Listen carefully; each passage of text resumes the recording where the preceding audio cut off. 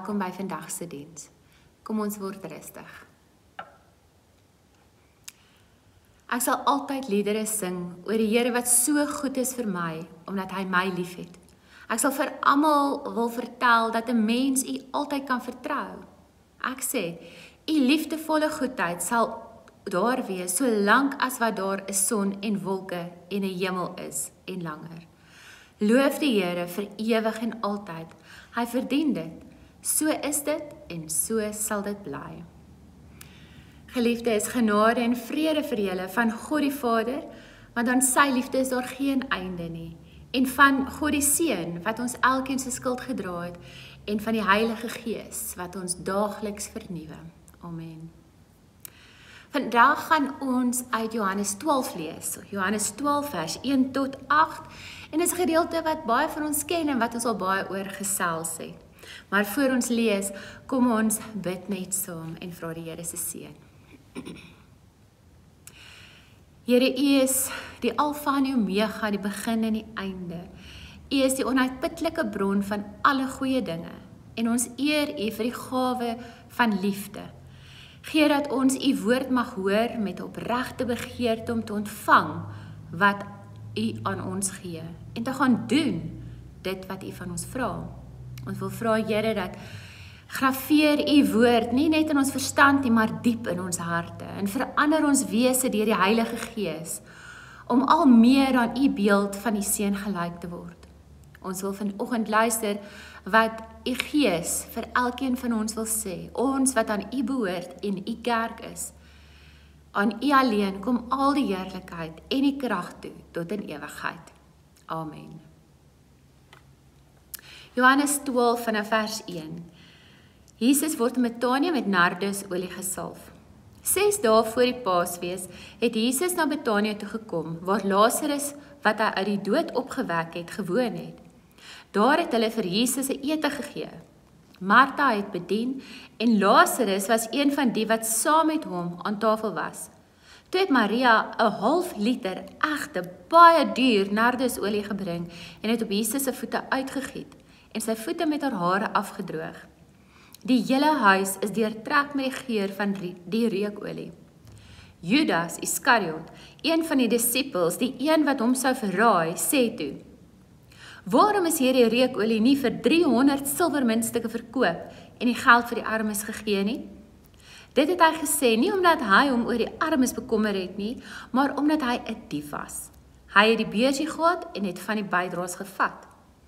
Toe sê Jesus: "Laat staan haar. Sy moes dit hou vir hierdie dag om my te salf vir my begrafnis. Die armes het julle tog altyd by julle, maar vir my het julle nie altyd nie." Ons lees daardie gedeelte. Nou, een van die dinge waarvoor ek en Ivan baie lief is om te doen of wat ons gereeld gedoen het as ons kon, was om na die Linder toe te gaan om daarso Richard Kak en die Johannesburg se Filharmoniese Orkees se optredes te gaan kyk. En gelukkig kon ons nogal vroeg in die jaar um ook so 'n vertoning gaan kyk net voor die tweeling en die hele inperking ingestel is. En daarso sal ons ons verkyk aan elke persoon in die orkes en van waar ons gewoonlik sit, kan jy regtig, jy kan almal sien. Jy sien wie drink wat se water en hoe lyk hulle handsakke by hulle voete en hoe lyk hulle skoene. Maar jy sien ook met hoeveel passie en liefde en getrouheid elkeen sy kant bring in hierdie orkes. Nou ons almal weet dat so 'n orkes uit 'n hele aantal musiekinstrumente bestaan en verskillende instrumente. Daar is die strykinstrumente, die houtblaasinstrumente, die koperblaasinstrumente en die slaginstrumente. En dis net die groot groepe. Elkeen van hulle binne in hulle in die groepe het nog ander verskillende instrumente. Nou elkeen van die individuele instrumente klink uniek. Een anders as die ander ene. 'n fluit en 'n viool se geluid is sag en die trompet is dan weer 'n harde geknal en die dromme en die marimbas maak hierdie harde harde klanke weer. Verder as sou ons ook kon weet dat wanneer ons na hierdie instrumente kyk en elkeen speel net op sy eie, net die viool of net die fluit of net die marimba of net die trompet, dan klink dit uniek, maar dit klink nie so mooi soos wat dit is wanneer almal saam speel nie. Elkeen saam, die blaasinstrumente, die strykinstrumente, die slaginstrumente. Jy hoor die pragtige musiek van 'n stuk omdat elkeen sy kant bring en elkeen van die instrumente dra mekaar en vul mekaar. Die verskillende instrumente het mekaar nodig om hierdie wonderlike uitvoering van 'n musiekstuk te kan gee. Nou, presies so is dit in die kerk ook, in elke gemeente en in die groter kerk. Elkeen het 'n rol om te speel. Ons almal het mekaar nodig om hierdie pragtige uitvoering soos 'n musiekstuk te wees. Elkeen van ons het 'n plek en 'n funksie om te bring. Nou die teks wat ons gelees het is een wat ons baie goed ken, is een wat ons baie oor gesels het al en ons kan op verskillende maniere daarna kyk. En vandag kyk ek uit 'n ander hoek daarna. Elkeen van ons ken Martha en Maria's en Lasarusse en Judasse wat by so geleentheid is. En ons ken daai mense in die gemeentes ook. Ons sou kon sê party mense wil 'n drom wees in die pas aangee soos wat Martha in ons gedeelte gedoen het. Ander wil soos Maria eerder 'n sagte fluit of 'n viool speel soos wat sy die die nardus olie op Jesus se voete uitgegooi het en die hele vertrek en die huis met daai reuk gevul is. Ander weer wil soos Lazarus 'n trompet wees wat hard en duidelik vir mense kan sê wat het met hom gebeur. Nou, maar kom ons kyk na hierdie verhaal. Maria, Martha en Lazarus was soos Jesus se familie geweest. Nadat Jesus vir Lazarus uit die dood uit opgewek het, ons lees daarvan in die vorige hoofstukke, het Jesus na hulle toe gegaan vir 'n ete. En deur hierdie ete het hulle hom dan natuurlik geëer. Nou interessant was by hierdie geleentheid Ons lees nie hier van 'n gestryery en wie wil langs Jesus sit en wie is die beste nie en ons lees net hoe elkeen 'n spesifieke rol het daarso om hierdie ete te laat gebeur. En die groot doel van die ete was om Jesus te verheerlik, om hom al die eer te bring. Maar ook elkeen het sy unieke bydrae gebring vir hierdie ete om 'n sukses te wees, om 'n verhaal te wees wat so noemenswaardig is dat ons hom nou in die Bybel kry. Martha, sy was by wyse van Spreuke, soos ek genoem het, 'n drom wat die ritme aangee, wat die leiding gee. Maria wat sag aan bid het met die diernarusolie soos die fluit wat die huis gevul het met die geur. En natuurlik Lazarus wat wat kan vertel van wat met hom gebeur het in dit uitpasyn. Nou hierdie drie mense, elk met hulle eie vermoë, elkeen eweveel werd, elkeen eweveel belangrik om genoem te word.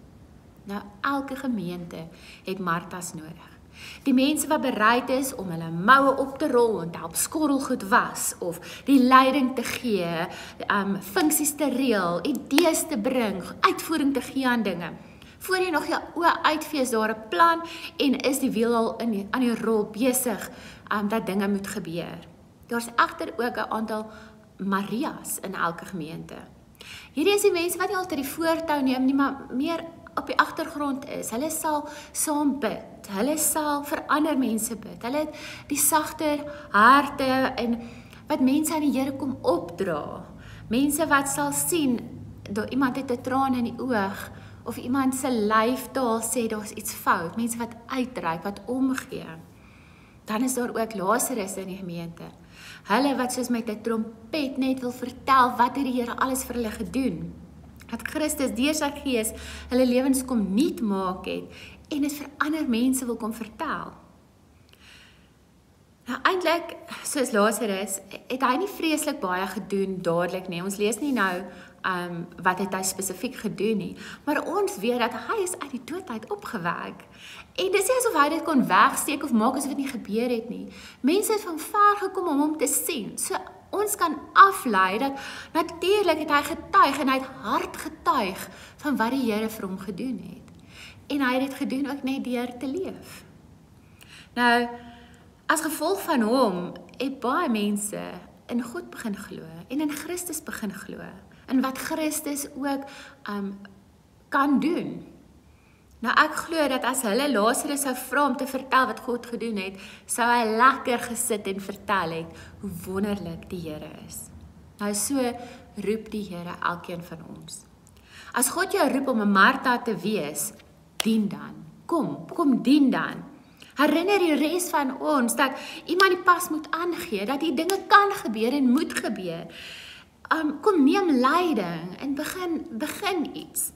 En wees maar soos daai besige muur. Um ons ander mense sien dit raak en ons is dankbaar daarvoor.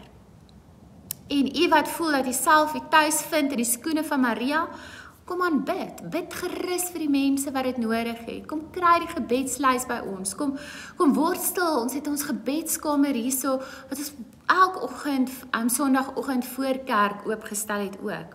Herinner ons aan God se liefde en sy sorg en dra gerus elkeen in die gemeente op aan die Here sodat elkeen sal weet deur sy gees dat hulle nie alleen is nie dat elkeen deur sy gees herinner sal word hoe die Here ons wil gebruik en waar en dat hy ons sal toerus om dit te doen. En as God u geroep het om 'n Lazarus te wees, gaan getuig. Herinner die res van ons daaraan dat elke kind van God sommer 'n hele paar verhale het van God se goedheid om te kom vertel. Om te vertel van hoe getrou God is, van sy liefde, sy genade, die redding wat hy deur sy seun vir ons gebring het en hoe dit elkeen van ons se lewens aanraak. En dat ons ook deur God uit die dood uit opgewek is. Elkeen van ons, of dit nou Martha, Maria of Lazarus of wie ook al, die Bybel is vol van hierdie voorbeelde van mense wat pertinente rolle speel. Elkeen is nodig en elkeen het 'n plek om God se tafel. Maar dan dan is dit daai ander karakter. Ek het nie vergeet van hom nie. Ek besef baie mense het gemengde gevoelens oor hom. Ons kry jammer, ons raak vies vir hom. Regtig, hoe kon hy dit doen?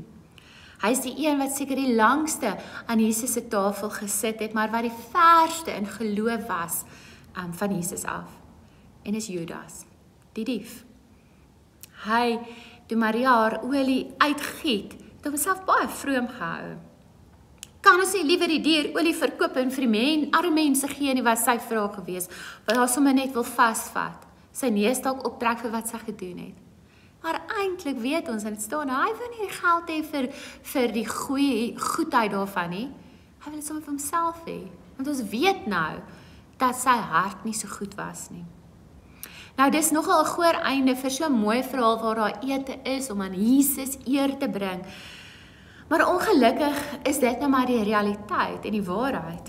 Want in elke gemeente en in die lewe is daar Martas en Marias en Lasarusse, Martas wat kom kom dien, Marias wat kom aanbid, Lasarusse wat kom getuig, maar dan sou ook Judasse wat kom kritiseer, wat oneerlik is, wat wat iets mooi soms bederf.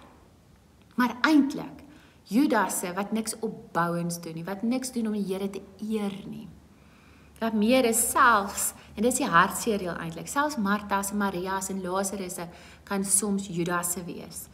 Dis hulle wat altyd besig is om ander te kritiseer, om te kyk maar hoekom doen julle dit nie so nie? Hoekom maak ons nie dit nie? Hoekom het niemand dit gedoen nie? Dit is nie 'n gemeente van God werk nie.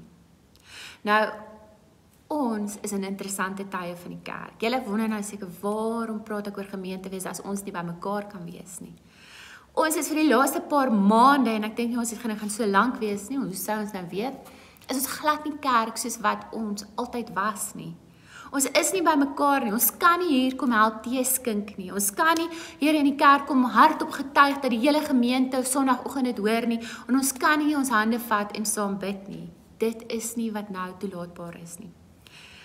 Maar ons sit nou met die uitdaging om nog steeds kerk te wees al is ons nie kerk soos wat ons was nie in normale omstandighede kon ek nou vanoggend sê ons het 6 mense nodig om vir soveel dae te help teeskink. En ons het hierdie nodig om dit te doen en ons het dat nodig om so te maak. Maar dit is nou nie so maklik nie. En daarom wil ek jou eintlik uitnooi om te gaan kyk. In omstandighede waarin jy nou is die kerk wat ons nou is wie wil jy wees? Wie is jy op die oomblik Ons kan nie altyd net wag tot iemand anders iets gaan doen en dan maar net okay, ons gaan dit net maar doen of nee, ag, ek gaan dit ook nie doen nie. Ons kan nie ons moet self besluit eintlik. Ons moet self opstaan en self inisiatief neem. Hoe eer jy nou die Here daar waar jy is? Hoe eer jy die gemeente en die gemeen die die die gemeente wat aan God behoort, sy koninkryk met wat jy nou doen? Is jy Martha? Is daar iets wat jy dink ons anders kan doen of wat jy nie noodwendig anders nie, maar nog kan doen?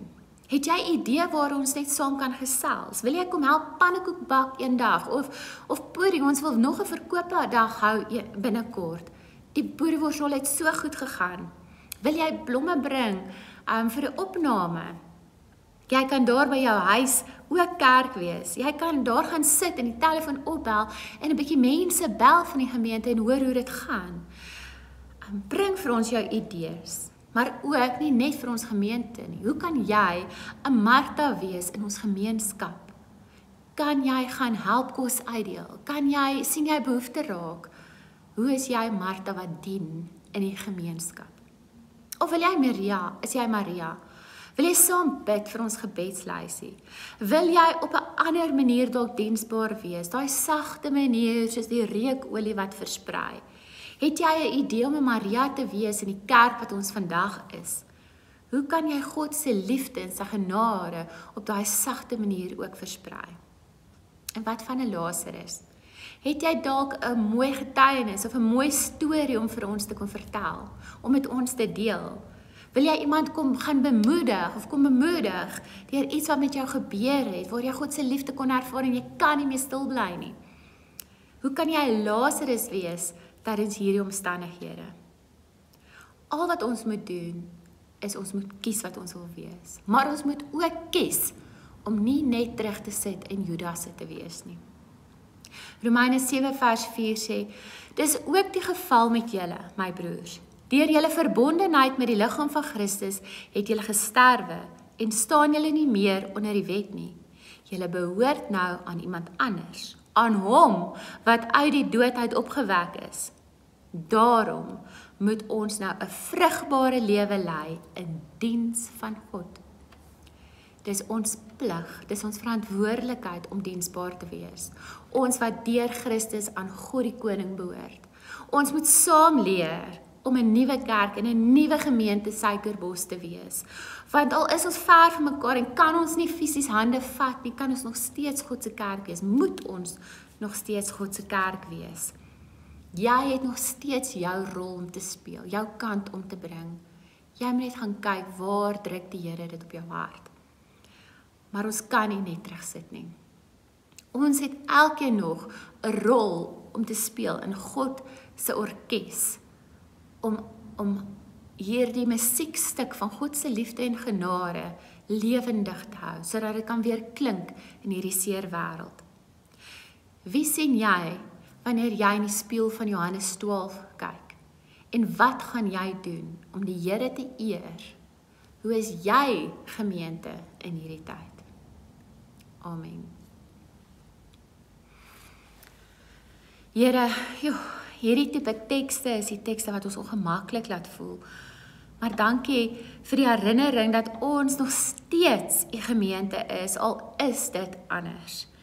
Ek wil vra Here dat U ons sal gebruik vir U doel. Nie ons eie doel nie, nie ons eie gewin nie, maar vir U doel en U wil op die maniere en die plekke waar u dit nodig vind, waar u behoeftes sien, waar u sien ons kan dit anders of beter doen. Ons kom na u toe met ons eenvoudige mense harte. Mag dit u um mag dit vir u net oop gaan sodat u genade ons elkeen kan vul. Ons sondes, Here, ons bring dit na u toe. Mag u dit vergewe. Mag ons weet wat dit is sodat ons dit nie weer sal doen nie. Mag u liefde ons elkeen net verkwik. Soos hierdie bloeisels wat nou bietjie bietjies uitkom, mag ons net so opnuut deur die liefde vernuwe word. Mag u ons harte vul, mag ons monde u eer en u naam prys. Mag u ons wys waar u wil hê ons moet wees, waarmee ons moet besig wees. En mag ons leer, Here, van die nuwe maniere en moontlikhede om u kerk nog steeds te wees mag ons daarna streef om vir hierdie wêreld te wys dat ons nog steeds aan U en U alleen behoort vir ewig en altyd. Amen. vir die afkondigings. Julle het elkeen ook die blaadjie gekry. Laat weet ons gerus as julle dit nie kry nie dat ons kan aanstuur. Ehm um, laat weet ons ook van enige lief en leed en as ons dit in die blaadjie kan sit of as jy dit net op ons gebedslysie wil voeg. En dan wil ek ook vra dat as jy nou 'n idee het, as daar 'n behoefte is wat jy wil hê, kom gesels met ons. Ons kan nou nie aan almal se idees net uitding gee nie, maar miskien is daar iets wat ons nog steeds kan doen of waar jy ook al wil help of kan help. En dan wil ek julle herinner dat die 13de September is dit nagmaal. So ons gaan 'n preek opneem soos wat ons nou doen, maar ons gaan die nagmaal fisies hier in die kerk terrein bedien.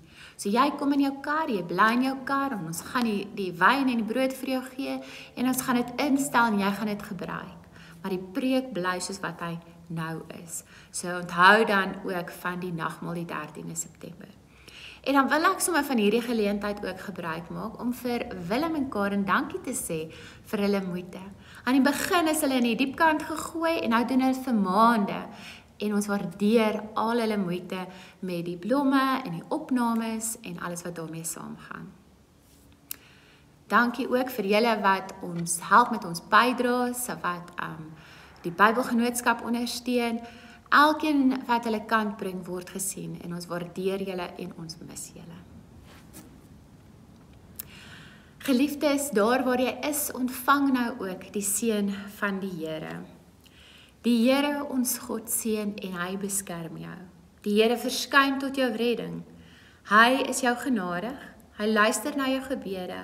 Hy maak jou diensbaar en gee jou jou gawes. Hy, die God van alle gode, die Alfa en die Omega, gee vir jou sy volmaakte vrede. Amen. thank you